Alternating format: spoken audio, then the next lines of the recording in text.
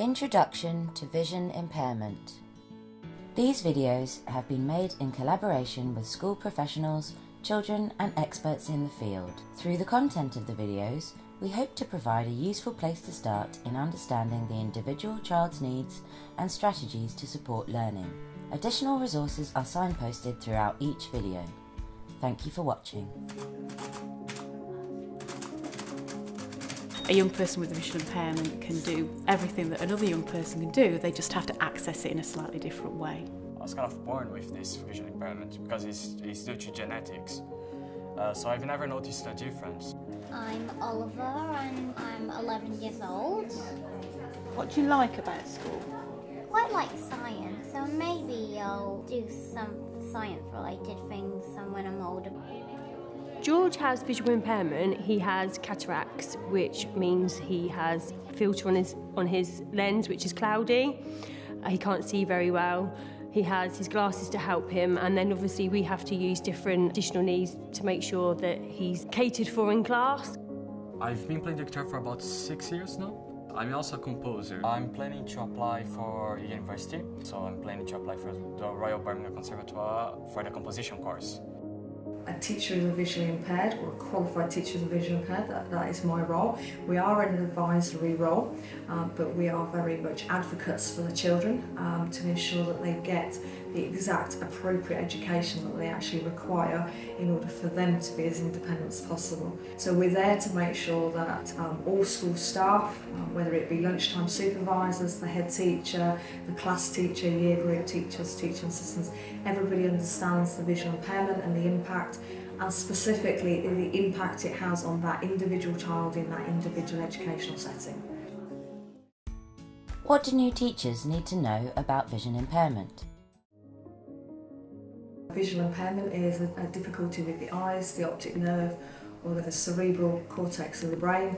That means that even though they wear glasses or contact lenses, potentially that cannot fully correct the vision.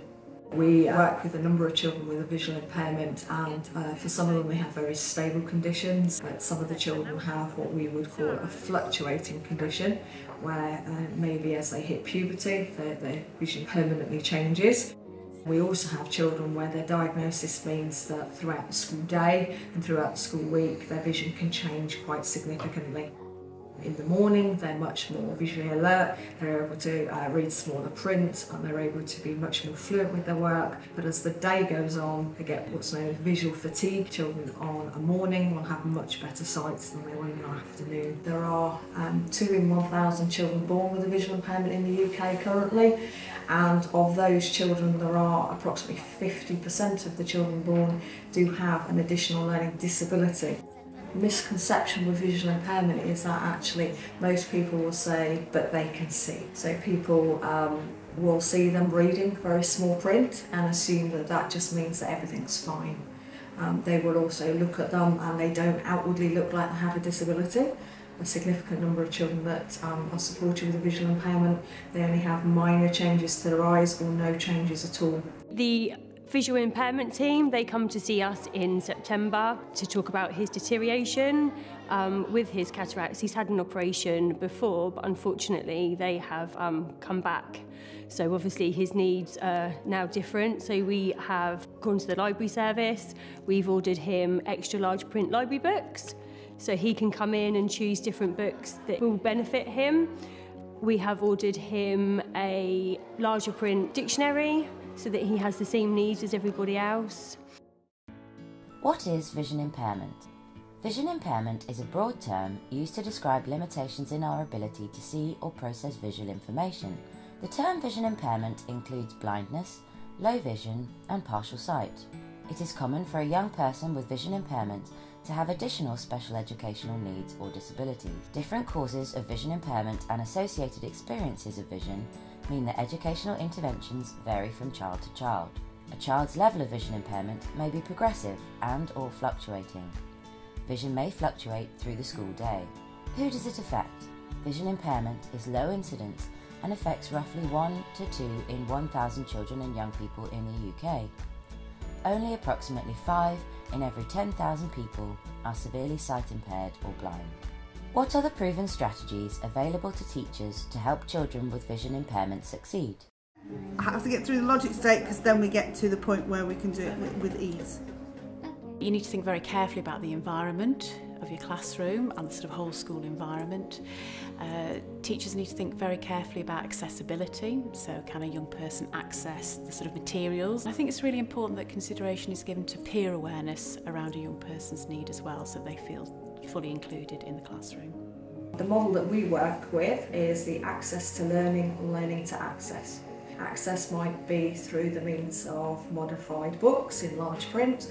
They might have technology that supports that and they have access to the, the whiteboard in modified ways and it may also mean that the child has adult support. But as they go through um, we want them to eventually that they learn to access so that they actually have their own equipment. They direct their learning. They understand what their disability is, how it impacts on them, and they can verbalise exactly what they need um, so that then um, they are actually able to be independent.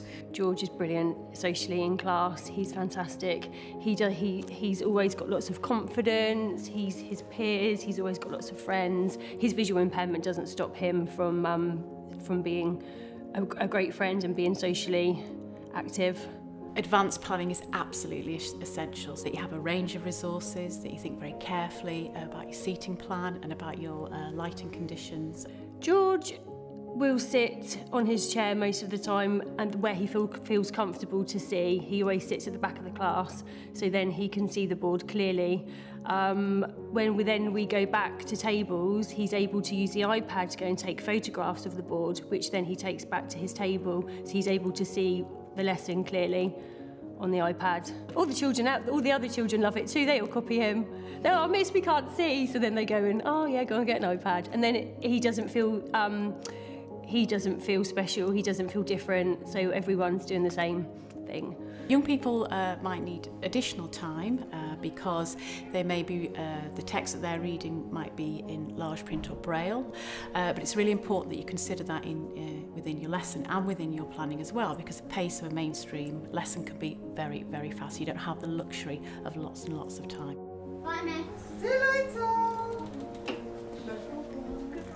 Mobility training, uh, you're going to be assessed on a journey. Usually you will, you will have a few sessions with the, the mobility training teacher and this teacher will uh, guide you. After have done enough sessions, this teacher will assess you. If you do that without any problems, you are allowed to go to that place whenever you want. These liquid level indicators are um, helpful tools in the school for, um, you know, children who can't see and may have trouble pouring themselves a drink. I always try to get my work in advance. Sometimes they will print like exam papers uh, in a, a, larger font size, but I still prefer to have everything digital. It just makes things much easier. Imagine that you have like 10 past papers and then it's all of them will be in A3 and maybe with a different font size. So you'd have many paper to carry and that can, sometimes can be a little bit heavy. I was learning Braille last year, however this year I'm not learning it anymore. If there's something that I cannot read, you can use some kind of speech software. They are able to read out loud to you what is written. I take with me something called a CCTV, a portable CCTV actually. If you have a textbook, you can uh, uh, flip the colors around and also you can uh, enlarge it as much as you want. I do my own testing with the children um, regularly, or three, four times a year. So then I have to take into account that actually I need to go and enlarge the, you know, the text for him to make sure that he's okay with it. Mild vision impairments find it quite hard to see pencils. They benefit from having bold black pens. As a child gets a little bit older, they're not keen on using felt tip pens because they think it makes them look young. They use a handwriting pen, um, but what they do is they actually rub out. So um, we've got scientific apps that are available on iPads and tablets. These are permissible for use in exams as well at GCSEs. For some young people, they might have um, quite a lot of TA support Other young people might just have TA support in certain lessons. And some young people are very confident and very independent uh, with their equipment uh, and they won't have a TA at all. So uh, it's really important to plan. Uh, and I think it's also very important that ultimately we want young people to be as independent as possible. So uh, it's also training the TA in how they effectively support a young person so they're not doing the work for them, they are facilitating them, they are supporting, they are scaffolding. I would say that the main thing was the mobility lessons because I've learned how to go on the transport by myself. Um, with that, I can just go to wherever I want, uh, and I think that's something that's something really important for being an independent student.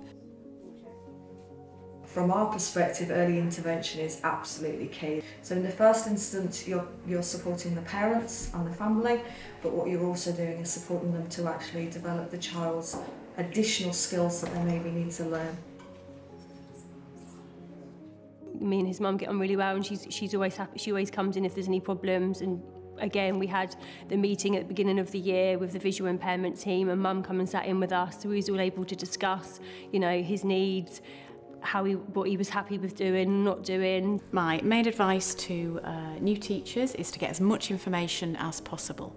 Don't be afraid to ask the young person about their visual impairment. My best advice to support a child with visual impairment was would be to talk to the child, to build that relationship with them. Then they'll be able to talk to you, to be able to tell you what needs they, you know, what makes them feel comfortable and what help they need. The best way to understand that would be uh, if the teacher could have the chance to talk to the student individually and asks and ask the student, oh, what do you need? How we can help you. Consider your blinds and your lighting in the room. Think about actually controlling the light through the windows because that will aid children's access to their, their written work but also the interactive whiteboard.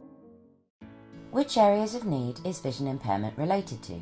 It has a strong connection with communication and interaction, cognition and learning, and social, emotional, and mental health difficulties. Which techniques are helpful for pupils with vision impairment? Access to learning. This is ensuring that the learning environment facilitates the child or young person's education, for example, using enlarged lesson material, clutter-free spaces, multisensory learning experiences. Learning to access. This is supporting the child or young person to develop skills to become independent learners, for example, using specialist apps on tablet computers, using a screen reader or magnification software, or advocating for adjustments. So tablets have become a huge thing in learning, both primary and secondary. Uh, the only thing that we stipulate is that the child has their own one rather than sharing one, just so that they can fully access it and manipulate it, zooming in, magnifying, taking shots of everything, so that they can control their learning. Where can I find more information about vision impairment? Advice on some useful apps is available here www abilitynet.org.uk forward slash news dash blogs forward slash apps dash students dash sight dash loss. A list of resources, including best teaching practice guidelines, are available via the Vision Impairment Centre for Teaching and Research on the University of Birmingham website www.birmingham.com www.ac.uk forward slash schools forward slash education forward slash research forward slash VICTAR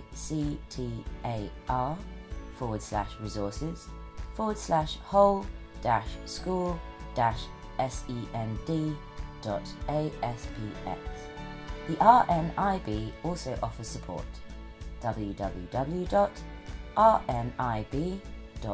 org.uk forward slash services dash we dash offer dash advice dash professionals forward slash education dash professionals.